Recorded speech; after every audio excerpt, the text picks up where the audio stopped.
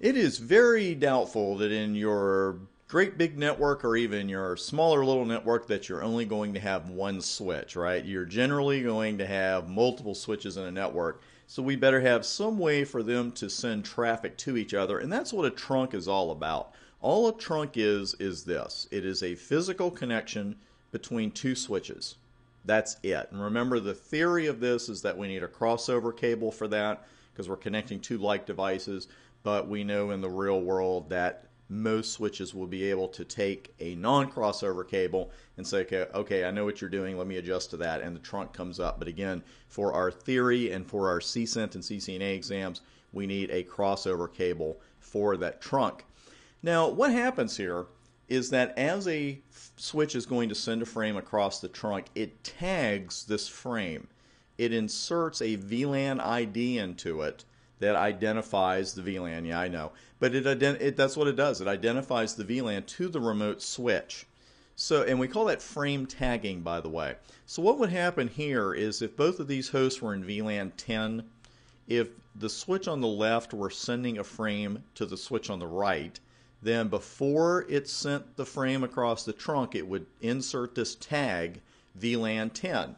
And when the receiving switch gets that frame, it looks in that ID field and said, okay, I need to forward this to devices that are in VLAN 10. And that helps us avoid that broadcast behavior we'd have otherwise. Because if we didn't have that, a switch receiving a frame from another switch would just have to say, you know what, I want to make sure this gets to everybody. It has to, so I'm just going to send it to everybody. That's what we want to avoid, and that's what trunking helps us avoid. Because again, it allows VLAN traffic to flow from one switch to the next, but at the same time, it prevents frames from being sent to hosts that don't need them or don't want them. Now, the trunking, again, it consists of two trunking ports and a crossover cable.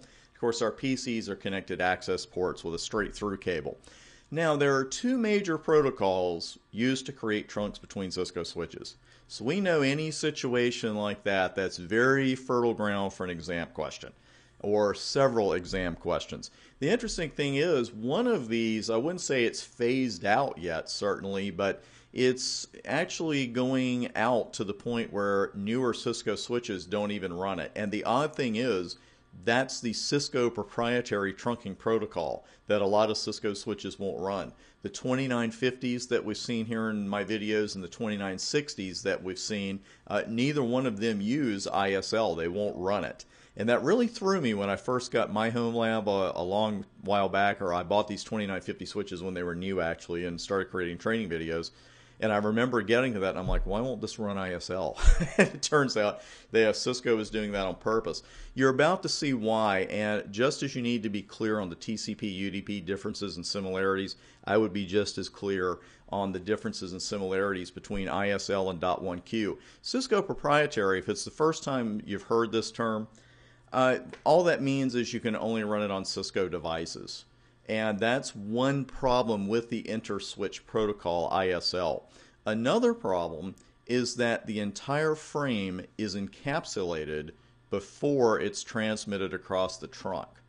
And the reason that's bad is because of what its counterpart, IEEE 802.1q, thankfully generally referred to as .1q, that's the industry standard trunking protocol. And you'll hear these terms occasionally Cisco proprietary versus industry standard.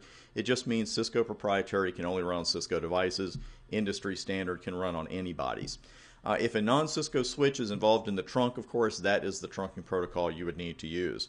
One big benefit of .1Q is that it does not encapsulate the entire frame. Instead, it just adds a 4 byte header to the Ethernet header, uh, which indicates the VLAN to which the frame is intended. So that's the tag right there. So what's the one word we learned about this in TCP versus UDP? And we're talking about those and we're showing all these great benefits of TCP, but what's the big reason that UDP is often preferred over TCP? Because it has less overhead, right? Overhead's a big word there. Well, overhead is a huge word here because with ISL, again, you're encapsulating every frame. So you're putting a header and a trailer on it, and .1Q, the overhead is much less.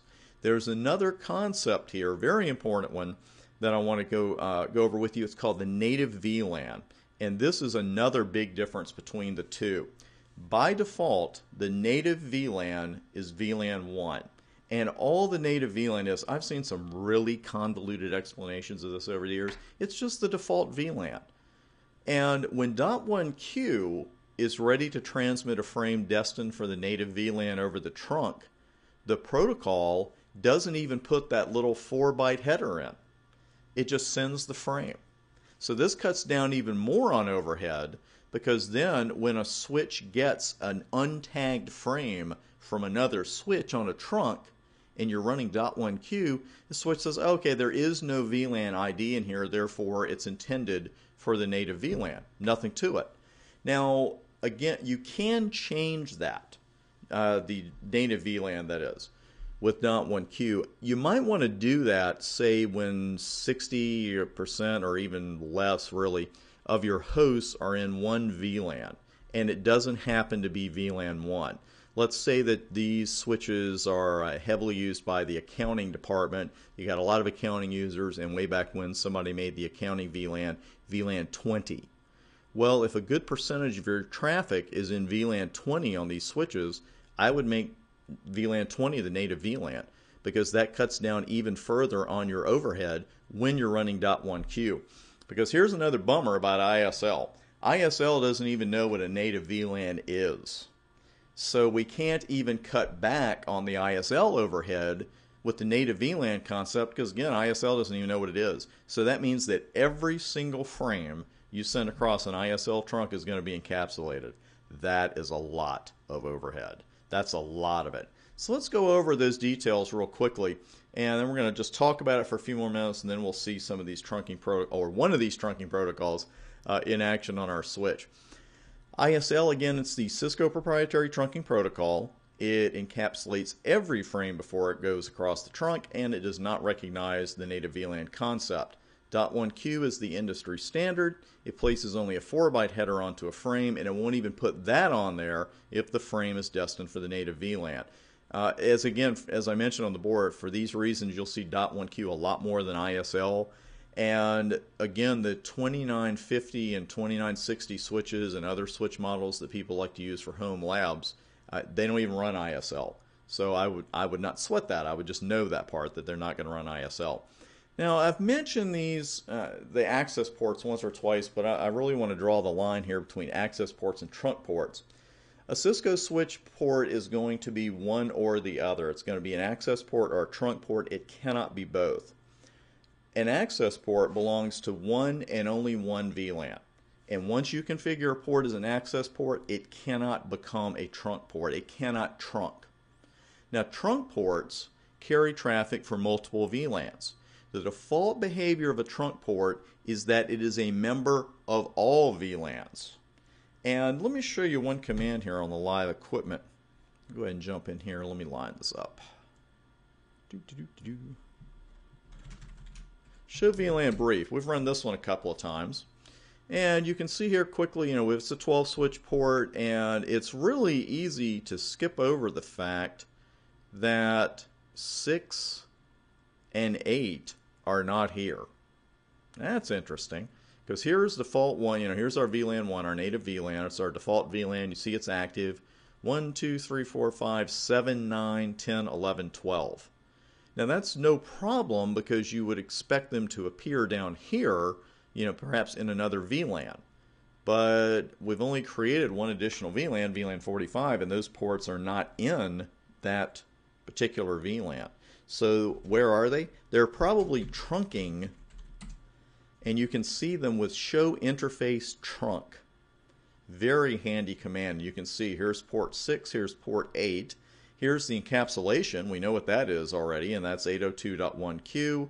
We see that the status is trunking, and again, the native VLAN is always going to be 1 by default. Then we've got some other information down here about what VLANs are allowed on the trunk. Notice that by default, 1 through 4094 are allowed on both ports. 1 and 45 are allowed and active in the management domain. Spanning tree forwarding state and not pruned. We get we get into this one in your ICND2 studies. We got enough going on up here. But under mode, you know, we've got a couple of different things going on here. One says desirable and one says on. Kind of sound like the same thing, right? I mean, if it's desirable, you know, maybe it should be running. But we'll get to that here in just a minute. But show interface trunk is a command you always want to run right after show VLAN brief. Because if you don't see ports here, see if they're the ones that are trunking. And if they are, well, by golly, then you know what they're doing. So let's see, we've got a couple of different modes here that I wanted to run past you. Do we have any here? Here we go. So show interface trunk ran that, and I want to show you the trunking options. And the trunking options, we have quite a few. We actually have five unofficially, but they're not all visible in one place. So let's take a look at the switch port mode command. Actually, we're at the 11 minute mark on this video, and I don't want to interrupt this next part. So I'm going to stop the taping here, and when we come back, we're going to take a look at all of these options for our trunks. And while this is something that we don't exactly change on a daily basis, I really expect it to come and play on your exam. So we need to pay particular attention to that one, and we'll hit it on the next video.